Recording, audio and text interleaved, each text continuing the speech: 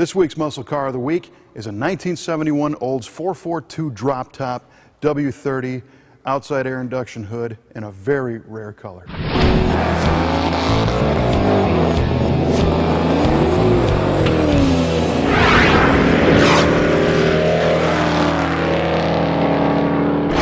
1970 was a really crazy time for muscle cars. Uh, General Motors in particular lifted their cubic inch ban uh, from 400 up to the sky's the limit. So for 70, you saw Chevrolet going to 454, you saw Pontiac go to 455, Buick to 455, Oldsmobile to 455 cubic inches. And with the higher compression ratios, a 1970 W30 Cutlass made 370 horsepower and 500 foot-pounds of torque. I mean, these were awesome, fun, fast cars to drive. But by 1971, things started to change. Uh, there were several factors at play. Uh, because these cars were so fun to drive, people went out and street raced them and crashed them and wrecked them and had a great time, which meant insurance rates went up. So the buying public wised up to the fact that, you know, increased insurance premiums meant a higher ownership uh, cost after you bought the car. So the manufacturers were trying to uh, reduce those power numbers to make the cars more affordable. Plus the fact we started to see some emissions control equipment choking the power down by 1971.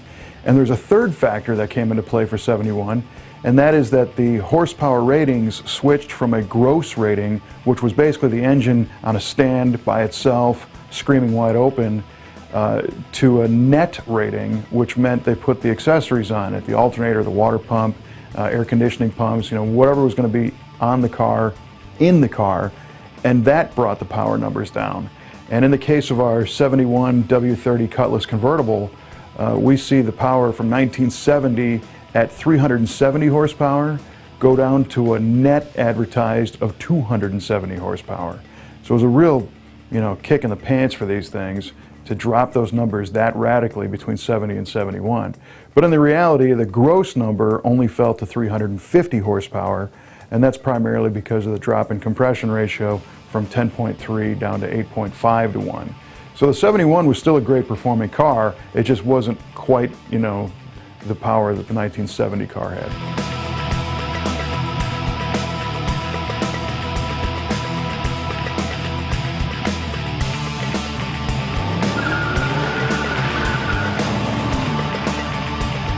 The car we're looking at today is uh, kind of a neat one in the Brothers collection. They made about 110 442 W30 convertibles in 1971.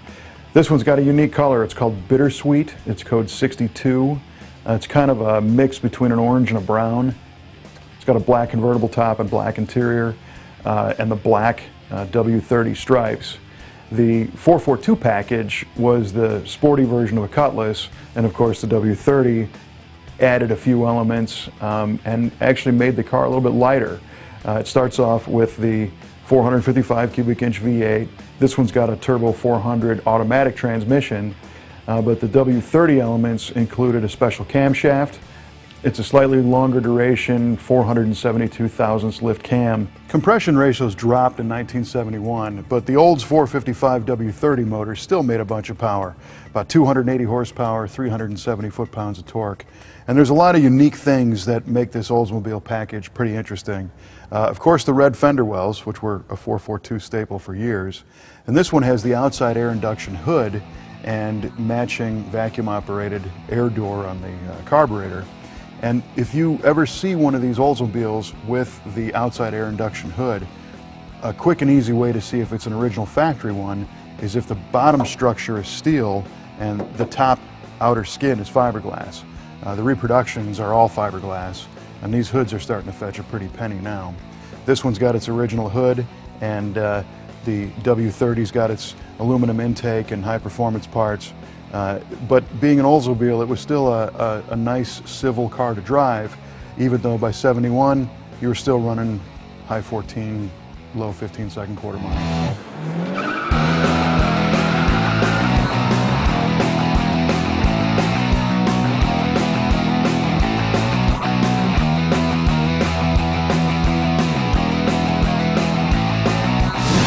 Uh, they did a few other things to lighten the weight. They reduced the amount of sound deadener in these cars, so they were a little bit lighter.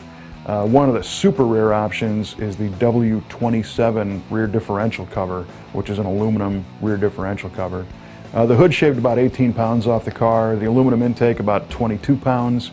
Uh, they also had a specially tuned quadrajet carburetor, free-flowing exhaust, and a vacuum-operated free-flowing uh, air cleaner assembly to give these things that power.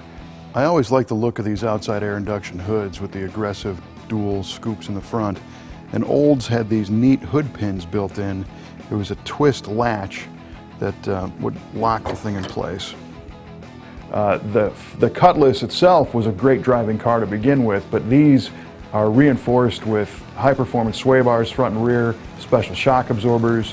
The rear suspension has fully boxed lower control arms uh, to mount that rear sway bar, and the upper control arms have a, uh, a special brace that attaches to the frame to keep that rear end from walking under hard acceleration.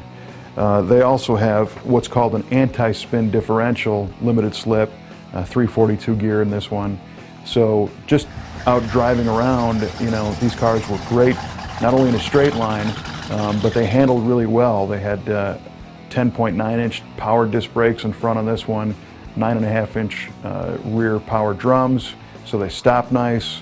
Uh, overall, these GM A-body platforms, and these Cutlasses in particular, and the 442s are great driving cars. You could get just about any option you wanted on a 442, but this one has a surprisingly few amount of them. It's got an AM radio, uh, it's got heat but no AC, uh, column shift, bench seat, doesn't have the gauge pack, it's got your basic speedo and the collection of uh, idiot lights for you know temperature and fuel and volts, no tach, uh, just kind of a basic car. Some collections only focus on the best, most powerful, you know, most rare version of a particular muscle car.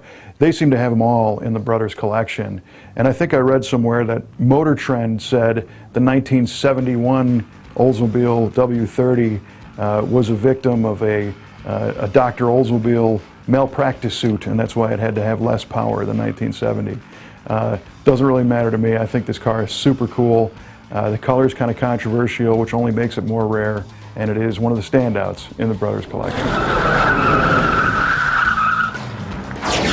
There's a lot of features on some of these old cars that you forget about, like the key buzzer. When you leave the key in the ignition and open the door, and this one has about the loudest one in history. You can learn more about this car on our website at musclecaroftheweek.com. Of course, our Facebook page is a place where you can check out the cars, look at previous cars, and even guess what next week's might be. And of course, our YouTube channel is a place where you can subscribe and never miss an episode of Muscle Car of the Week. I think this thing actually echoes.